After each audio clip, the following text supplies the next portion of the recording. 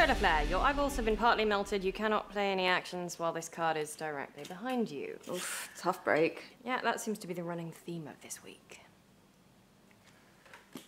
Your turn.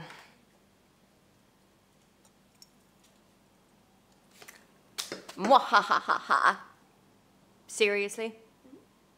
No, I'm not going to let you win just because you're having a shitty week. That is literally in the job description of being my best friend.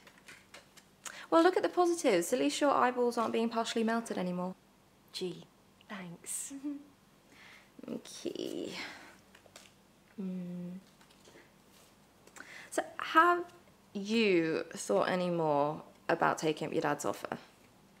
No.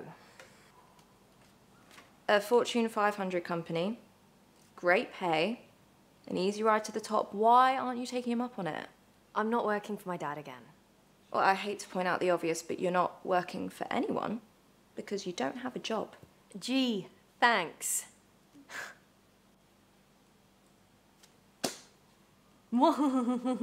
Moving forward and mocking the other players for their lack of jet propulsion.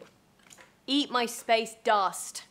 Look, all I'm saying is that the rest of us would kill to be in your shoes.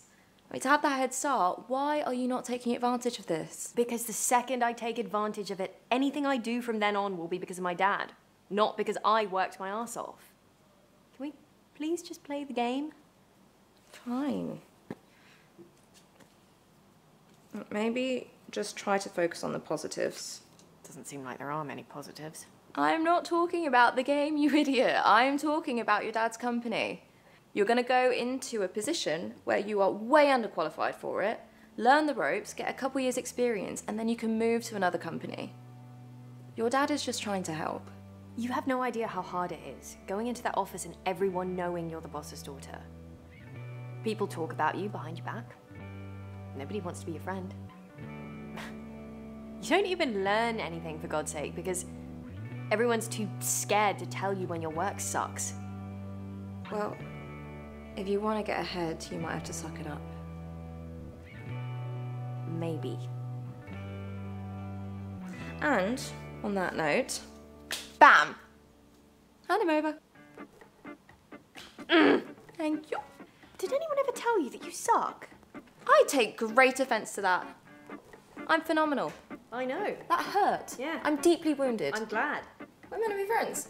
No, not, not anymore. Well, it's been nice knowing you.